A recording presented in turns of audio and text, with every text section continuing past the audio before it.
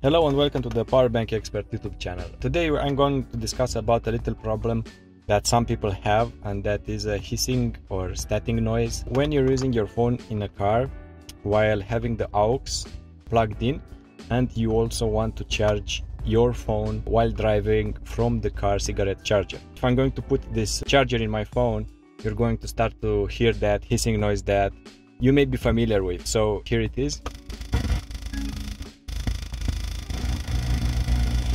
So if you recognize this hissing noise, it means that your car model is among the few car models that will create this noise when you're charging up your phone. And um, this is basically an effect which is called the ground loop effect. And it means that basically the um, car electronics interferes with your phone and this is how the uh, noise is created. So there are several solutions to fix this.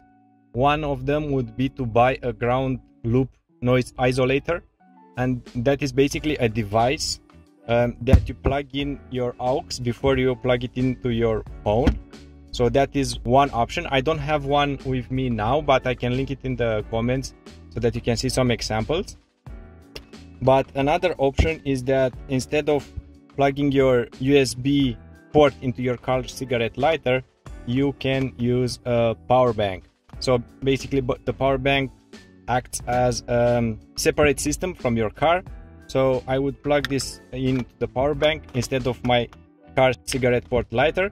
And now I can charge the phone and that hissing noise does not show up again. So uh, this is a very quick troubleshoot. If you happen to have a power bank with you that's uh, loaded, then it means that you can charge your phone and you will not hear that noise again.